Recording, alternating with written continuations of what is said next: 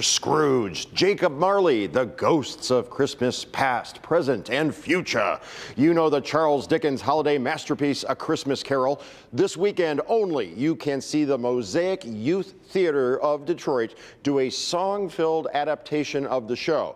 The cast includes more than 60 young artists, and some of them are with us here in studio, and they now are going to perform a song from A Christmas Carol. Fa la la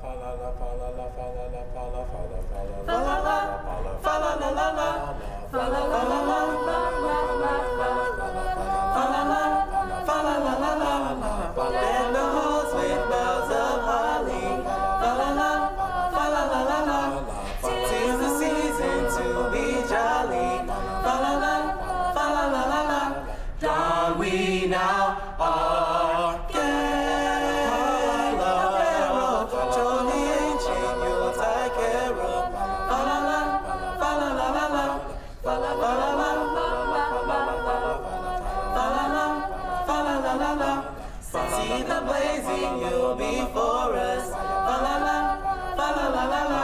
Strike the harp and join the chorus. Fa la la, fa la la la la. Follow me if treasure. While I tell of your treasure. Fa la la, fa la la la la la la. All right. Nicely done. Here we are with Andy Huff, the Mosaic Youth Theater. They will be at the Detroit Film Theater at the DIA with their performance of A Christmas Carol. And Andy Huff is the director of the show. Thank you for being with us. Thank you for having us. Tell us all about it. Well, it's this weekend, as you said. Thank you for having us here. It's an adaptation of the classic Dickens tale, but it stays true to the Dickens language. It moves very fast, but there's brand new arrangements of the music, as you hear this morning, so a lot of excitement to this production. How do you decide on an arrangement where uh, you're doing the acapella thing? Uh, Pentatonix, I think, is one of the yeah. inspirations. Yeah. These guys are all cracking up. How do you decide on how to arrange it? Yeah, they're probably laughing because I'm not the music director. I'm the, the director of the show, but our director, our musical director, director, Delashay Strotter, has worked very hard and, and is always coming up with fresh new arrangements for the show. Is it, Sam, can you speak more to that?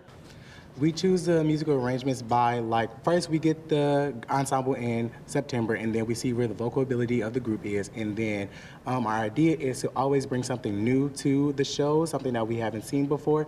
So then we bring these classic Christmas songs and then we put our adaptation on it and make them more modified to be more fun and inclusive of our generation.